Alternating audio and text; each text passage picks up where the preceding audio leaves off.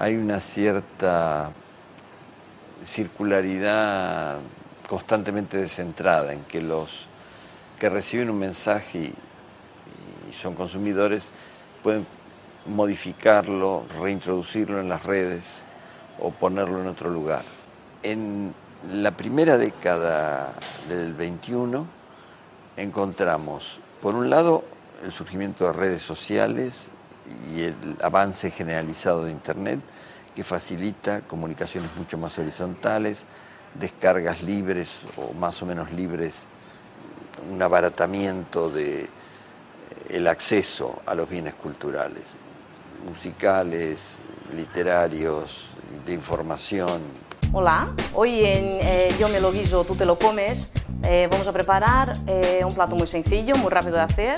Para coser rastas vamos a utilizar una aguja de crochet. Pasas tu lengua por el chicle, así. Es saber que al que le vas a copiar eh, sea un poco inteligente. Sobre la paleta de capas tengo una fotografía abierta. El champú no es muy importante. Desde nuestro punto de vista, la, la opción es... Toma a la mujer por la espalda con tu brazo derecho. ¿Quieres ser reconocido o reconocida por dar fabulosos besos? Ladies and gentlemen, you're watching. Okay, we're gonna put it in here, sideways.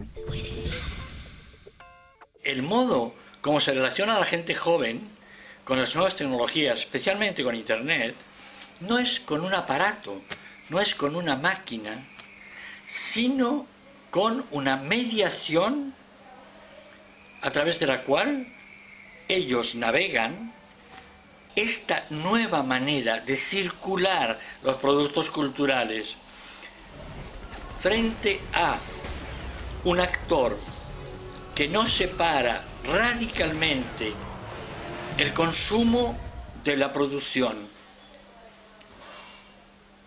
el ocio del trabajo, no solo porque ya podamos trabajar en casa, sino porque dentro del ocio puede haber una dimensión de trabajo, una dimensión de producción, una dimensión de creatividad, creo que trastorna profundamente lo que era la relación puntual de la gente con las diversas modalidades de la cultura, creo, que de alguna manera hay en la manera como los jóvenes viven hoy esta especie de compresión cultural, pero que tiene que ver únicamente con los modos de entrelazamiento de las diferentes prácticas.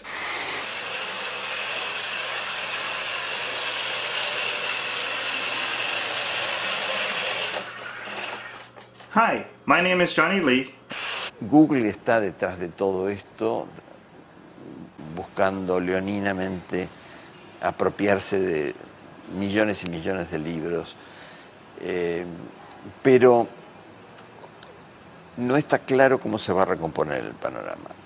Google es, sin duda, un monopolio más poderoso que lo que eran hasta ahora las cadenas televisivas o los, eh, las cuatro majors musicales.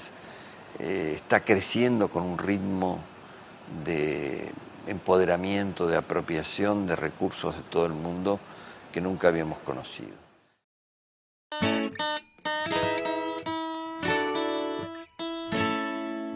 What could it be? Will it be fun? Does it weigh more than a metric ton? Could you eat it with your hands? Or use it to make dinner plans? Will you wear it on your face? Could it transport you to space? Will it make you look incredibly smart? Would you add it to your cart? Will it be all about taste? Or add extra inches to your waist? Will it bring back the funk? Or help improve your dunk? Google offers. It is coming. The possibilities are mind-numbing. Sign up soon. And don't be wary, you might just get something extraordinary.